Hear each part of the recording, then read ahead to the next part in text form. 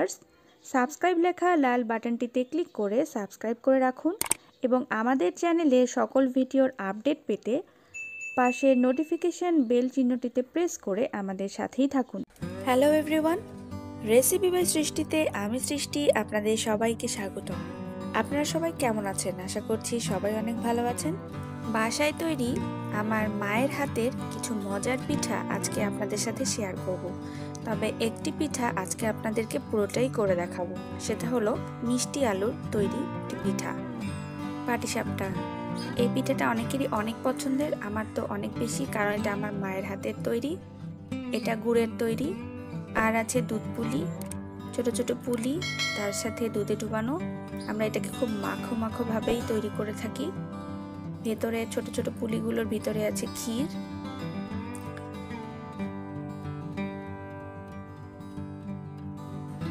আর এখন কড়াইতে ভাজা হচ্ছে ডিম পুলি।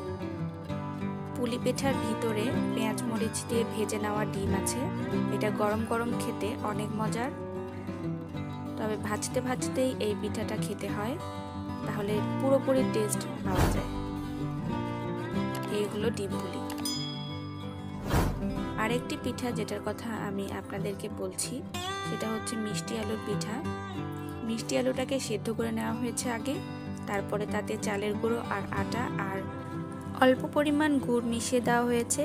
গুড়ের পরিমাণটা খুবই কম দিতে হবে কারণ আলুটা এমনিতেই মিষ্টি।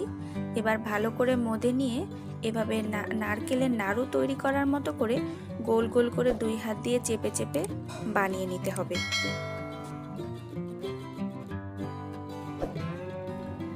এই পিঠাটা ডায়াবেটিসদের রোগীরাও বেশ খেতে পারে, কারণ অত বেশি মিষ্টি থাকে না আর হালকা মিষ্টি দেয়া হয়।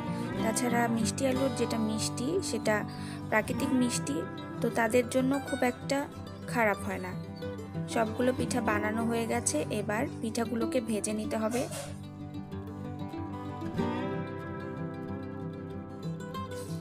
এই পিঠেগুলো একটু বেশি তেলেই ভেজে নিতে হয়। এবার তেলটা গরম হয়ে আসলেই পিঠাগুলো আস্তে আস্তে করে তেলের মধ্যে দিয়ে দিতে হবে। খুব ঝামেলার কিছু না, এই পিঠাটা যখন তখনই খাওয়া যায়। এবং একসঙ্গে অনেকগুলো পিঠা ভেজে নেওয়া যায়। এটা পিঠা আপনারা বেশ তিন থেকে চার দিন এয়ারটাইট বক্সে রেখে খেতে পারেন। আমার মেয়ের এই পিঠাটা খুবই পছন্দ, কারণ ও খুব একটা বেশি মিষ্টি জাতীয় পিঠা বা কোনো কিছুই পছন্দ করে না। তবে এটার হালকা হালকা মিষ্টি থাকার কারণে এই পিঠাটা ও হাতে নিয়ে ঘুরে ঘুরে খেয়ে থাকে। দেখুন, একসঙ্গে কতগুলো পিঠা ভাজা লাগছে। আর ভেজে নেওয়ার পরের কালারটা দেখুন। ভেজে নেওয়ার পরের কালারটা দেখলেই মনটা ভরে যায়। আর খেতেও কিন্তু অসাধারণ হয়। আপনারা চাইলে এটা চিনির শিরাতেও ডুবিয়ে খেতে পারেন, তবে এভাবেও অনেক বেশি ভালো লাগে। ভিডিওটিতে লাইক, কমেন্ট, শেয়ার করতে একদম ভুলবেন না। ধন্যবাদ সবাইকে।